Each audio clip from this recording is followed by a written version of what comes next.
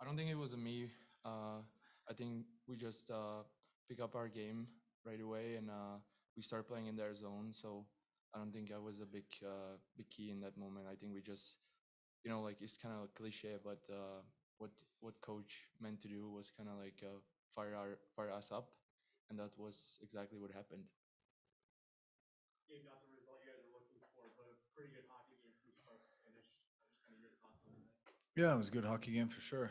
Uh, two good teams and comes down to overtime and comes down to breakaway and um, yeah, it didn't go our way. But I thought honestly, especially once Nate tied it up there, I thought we just took over and played really well in the um, second half of, of the second period and even throughout really the majority of the third period. I thought we kept them to three quarter ice and kept turning on them quick, getting in on the forecheck and created plenty of good looks. Um, you know, a little bit of luck that goes in, but it's the way it is. And uh, I thought we battled hard and, and played well. Steve, as a follow this, that coaching usually says that goaltending is made to try to beat prior. Is that the way you look at it? You have to sell yourself up.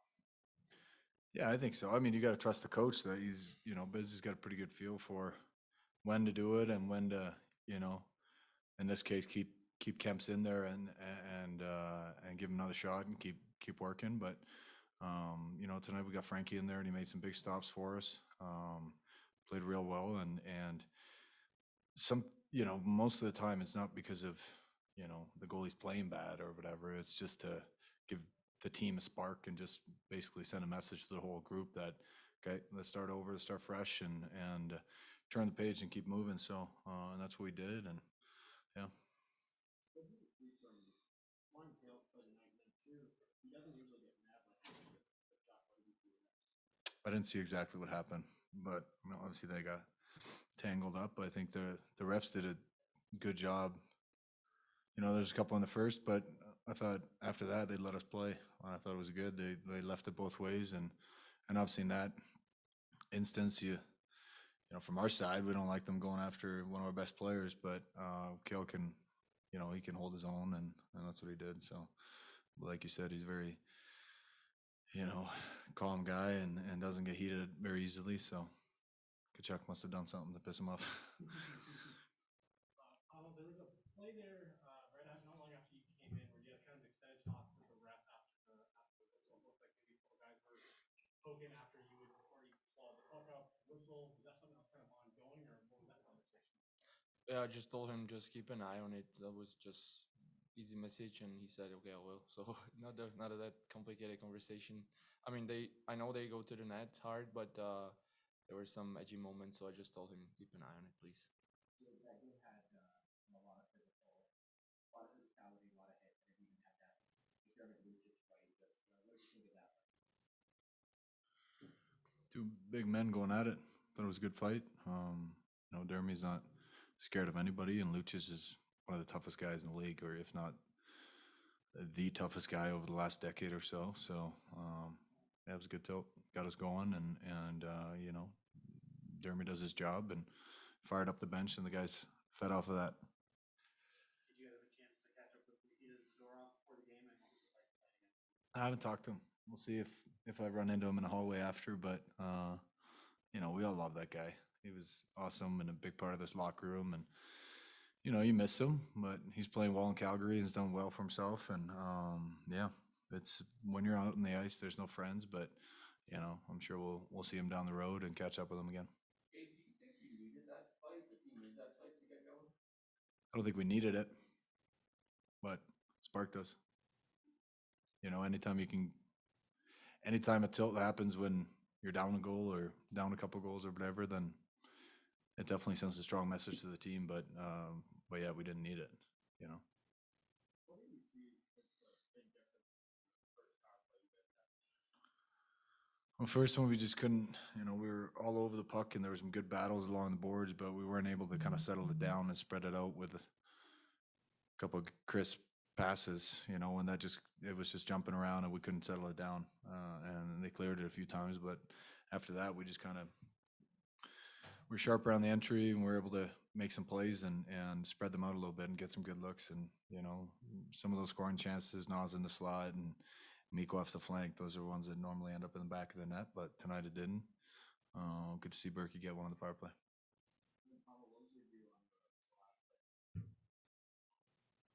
Um, yeah, he was going with a good speed. I was trying to read, uh, kind of get the flow, but um, I kind of felt like I, I have it in a spot where I wanted, but just couldn't make a stop. So, yeah. Thank you. Thank you. Jared, you made that decision, in the early on in the game, that Darcy Kuemper, was was that a, just a wake-up call for the team, or was that something that you that you was happening? Uh, I'd say a little bit of both. Like I thought, for first of all, those goals, all of them, like we made mistakes on. Like I thought a couple of those were gifts on, um, based on our five guys on the ice that we handed them a couple of gifts there. They executed and scored on them. Um, I, I, but I, I didn't feel like Darcy was real sharp. Um, so at that point, we needed a little bit of something, so I, I thought maybe go with uh, Frankie. Frankie was really good coming in too. So tough call to make. Um, Darcy start, and those certainly weren't on him, but for me, I just felt like we've seen him sharper. And I mean, this is a big game. It's a real good team we're playing, and we needed everyone to be at their best tonight. And and um, so yeah, I just made the decision. What was that to know if he was mad at himself or, uh, like, do you mind his player emotion?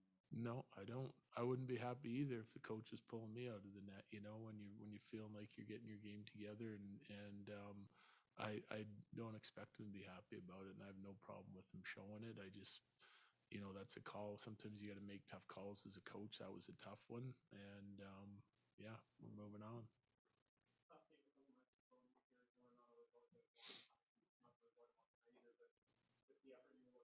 You. Yeah, I I mean, besides the, you know, I, I don't like handing teams easy goals or goals in coverage or when we're there but not there or things that we just go over on a pre-scout that we know they're gonna do and they're not they're gonna do things repeatedly and then we get burned on them right away. To me, it's just it's focus and and it's execution on the defensive side of things that that got me a little bit tonight. Um, but final 40 minutes, I liked it a lot. I mean, we were dangerous in the first period too. Like I liked what we created. Um, we got better at our checking game through the final 40 minutes. Um, really liked our third a lot. You know, I thought we we created some turnovers and some real good scoring chances. Just couldn't find a way to put them in the net. So it's the way it goes. But there's a lot of things that I take out of that game that I wanted to see. Um, one being Kadri, Landeskog, Nichushkin playing against what's currently the top line in the NHL in in uh, Gaudreau, Tkachuk, and Lindholm. I thought they did a fabulous job against that line and still created a ton of chances. We played with some physicality.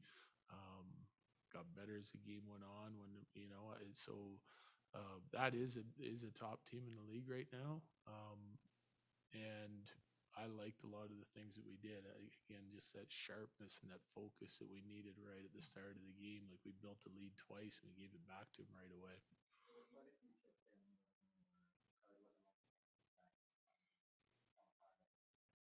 Yeah.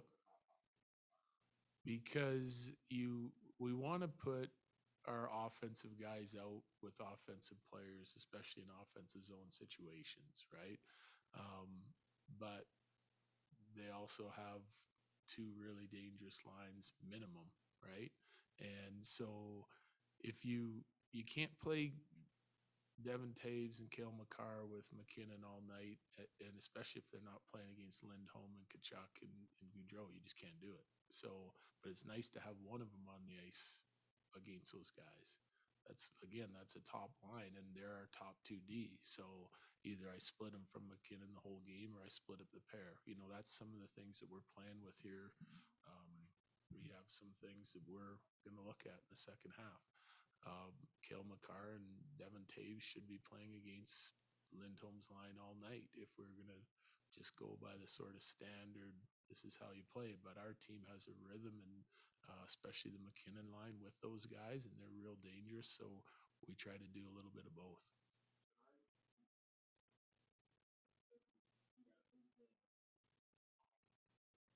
Yeah, not his best for sure. Fought the puck.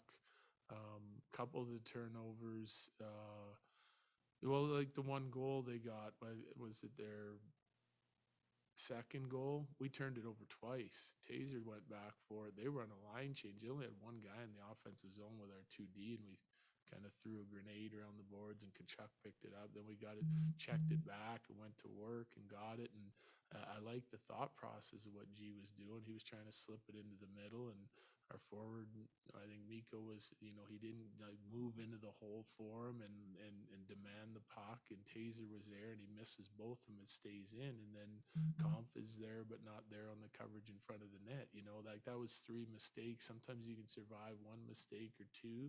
That was three. Um, especially when you're giving them the puck back with fresh bodies and that line coming on the ice, they'll make you pay. So that's kind of what I was talking about with the sort of focus and execution. You know that just, I mean, hey, we were playing hard. We played hard all night, but but you know some of those mistakes you got to you got to clean them up a little bit, you know. And I and I and again, I like the thought process of what we are doing there, using the middle of the ice. That was the play on the breakup, but we didn't execute it. Cost us. Uh, yeah, I mean, great fight. Two big boys going at it. Uh, you know, they play with the, they got some big boys and they play a physical game. That's a team built for playoff hockey. Um, and they're all good players as well. So, I mean, having a little size in the lineup and making sure that things don't get out of control physically and yet still pushing back physically on our own, I thought we did a nice job that. Was a good fight and, um, our guys liked it and we continued to play pretty well after that.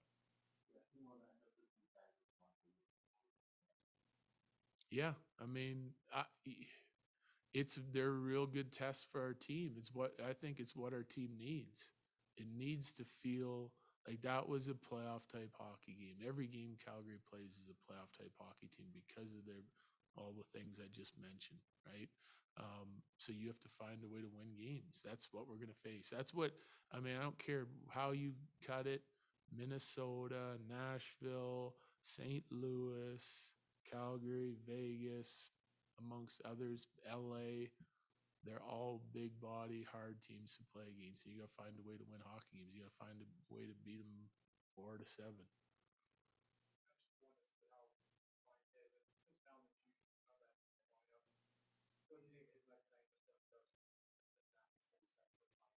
Well, he's he's um, it, it's it's huge getting him back. He's so important to our team, especially especially from that checking aspect.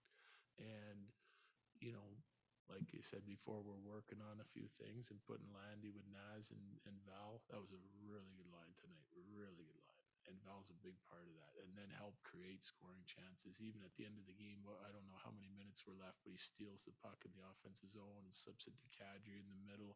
And that's an opportunity for us to win the game right there if we're if we put it away. And hey, their goalie made some big saves, as did ours.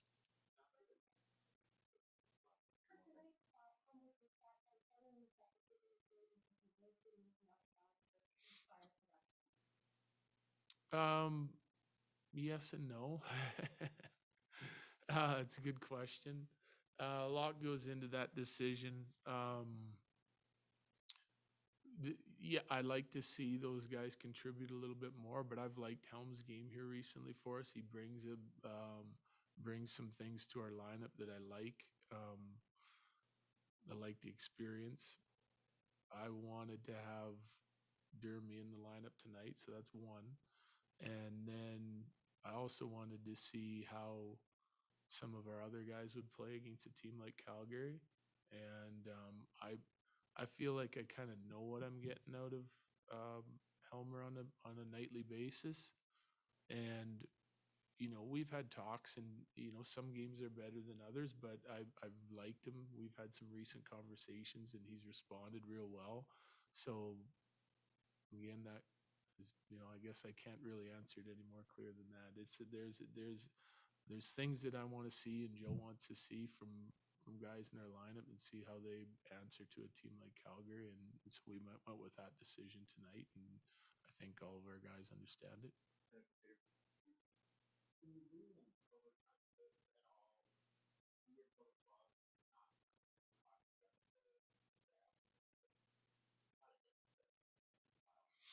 No.